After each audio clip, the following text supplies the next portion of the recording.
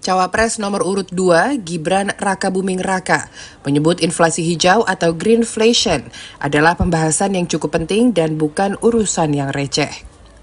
Hal tersebut sempat disinggung Cawapres nomor urut 2, Gibran Raka Buming Raka, saat kunjungan safari politik di pabrik tekstil Sritex, Sukoharjo, Jawa Tengah pada Selasa 23 Januari 2024.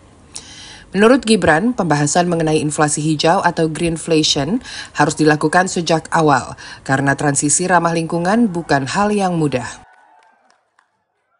Transisi menuju energi hijau itu nggak gampang, R&D-nya nggak gampang, penerapannya nggak gampang. Dan jangan sampai nanti bebannya semua nanti bebannya yang yang apa yang terbebani malah warga ini jangan sampai terjadi.